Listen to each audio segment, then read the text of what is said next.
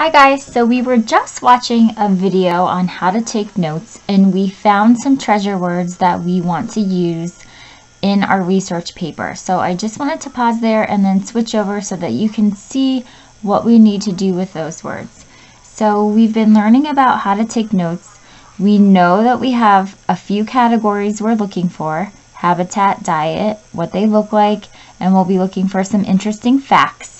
We've already listened to our video and here are some helpful hints when we're looking at each of these categories. But I want to get back to our video. And here we left off, oops, where the poison dart frogs, we found what they wanted, that what they were eating. So we decided that the first few sentences were not good information for what we were looking for. And then we got to the part where we found out what they ate. It said poison dart frogs eat meadow plankton and small insects. So yes, there are treasure words here. We found that they eat small insects and meadow plankton. So when we note take, those are our treasure words. Treasure words equals notes. And when we, this is an important fact about note taking. It says, do we need to write complete sentences? And the answer is no. This is not our paper. This is just for us to go back and use the information to write our paper. So I wanted to make that special point that when you write these things down in your notes, you only have to write the words. You can even write um, little bullets, and I'll show you what I mean by that. This is what our note papers look like. You have to use, they're in your Canvas. You can use regular paper at home if you want to, or you can write on the ones that are in Canvas for you. But they have each section. Habitat, and then this one down here is about diet.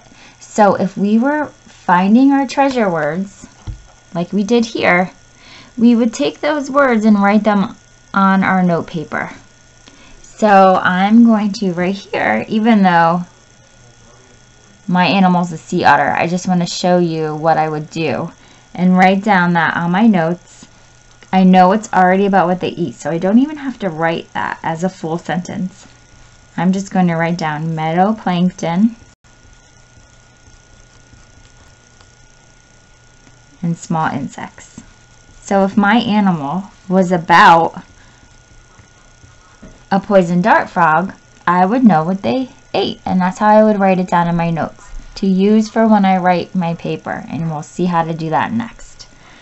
But today I want to show you about note taking. So let's go back. Here's what your notes look like in your canvas. They're all right here. And we're only going to focus on these two categories today. We're going to focus on habitat and diet. And the next day we'll focus on the other two, which is what they look like and our interesting facts. Okay, so we have various places that we could look to find information. If you go into your Clever, you could use Discovery Ed. Here's the app for that, Discovery Ed you can press on this. And it will open up. And in the search bar which is up here that little looking glass you would press that and type in your animal.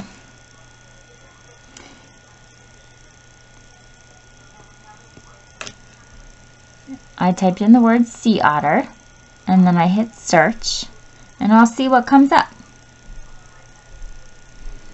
there's lots of videos I could watch.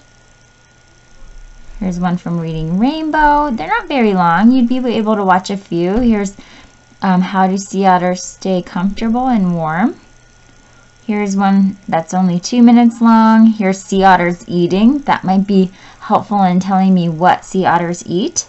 Ooh, here's one that says brown, black, gray. So I'm wondering if this might help me when I'm looking for what they look like. And here might be some interesting facts. This heading says sea otters lie on their backs in the water. Um, so I could look at all of these videos if I wanted to and find out some great information. And when they answer any of the questions that I've asked on my planning page, that's what I would use as a treasure word and write them on my notes page. Okay? I want to show you another place you could look for information. So let's come out of there. You have an Epic app on your on your iPad. So you could click into your Epic app. This is my Epic app. And you can search for books that way. So up here, again, with the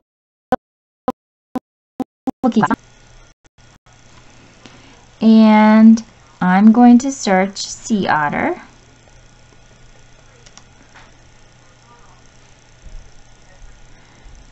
At first I see it comes up as sea anemones, clownfish, sea anemones, so I know that it's using that sea word to find me other books.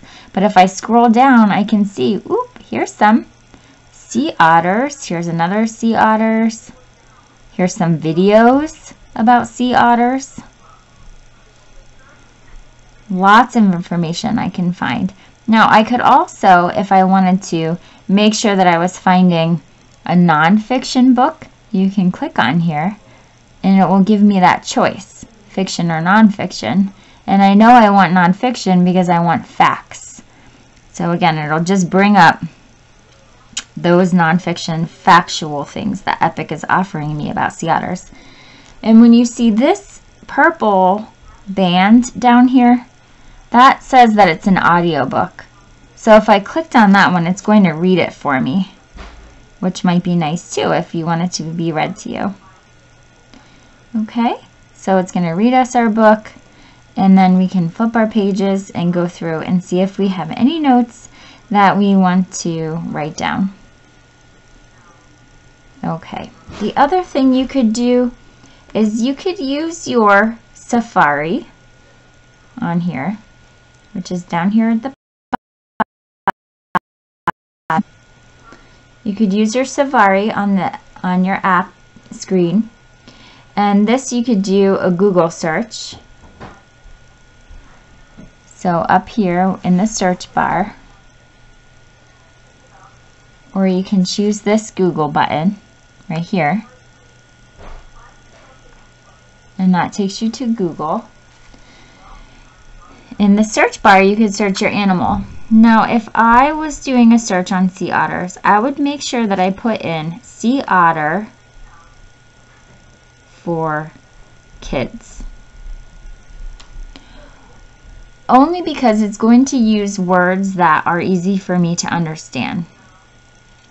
So when you look up sea otters for kids or sea otter facts for kids, you would be able to see things. Here's some videos for me to look at. Here's Kids National Geographic. That's usually a great place to find some information. So I'm going to click on this. and you can see all kinds of information. Oh, this is going to be wonderful. It's going to show me their size, how much they weigh. Right here it says diet. So these are things I'm going to learn when I'm looking at this page. They snack on aquatic creatures such as sea urchins, crabs, squid, octopus, and fish. So right there, it's already underlined for me. I can take those treasure words and put them right on my note paper. Now we know these are about the dart frogs, so I'm just going to cross those off and write down here what I've learned about sea otters. They eat crabs, fish, squid, octopus. Wonder how that tastes. Okay, and also they mentioned sea urchins,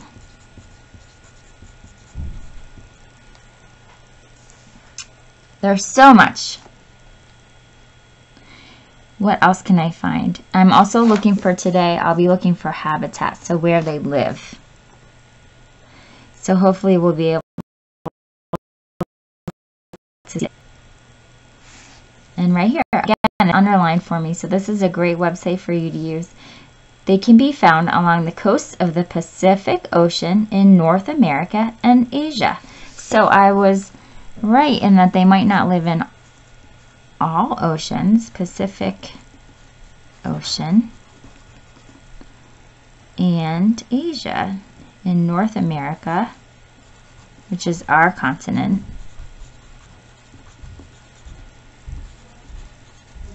See how I'm not writing complete sentences? I'm sort of using a bullet. This is called a bullet point. I'm just taking notes and listing things. So here they're even showing me a map. Here they're even showing me a map of where they are. Okay, so, and this yellow part is where sea otters live. I would keep going and finding some more information. This is a great website, so I'm so excited. Um, there's a slideshow. It's going to show me pictures. So if I were to, when I get to the point, look how cute they are of drawing pictures. I can maybe use something like this to help me. Aww. All right, so you'll see there's so many things for us to look look at. And I can click on videos. There might be some videos for me to look at. So again, if I wanted to go back into my search bar, back to Google, I could type again and find a different website to look at. See, whoops, I spelled it wrong. I'll just try that again. Sea otter facts for kids. So this one, it's hard to see on the camera, but it's highlighted in a different color. This is the one I've already looked at. It's purple compared to the other ones that are blue. So I could click on one that I know that I haven't looked at yet. And here are some other things I could read and find out. Okay, so this is so exciting.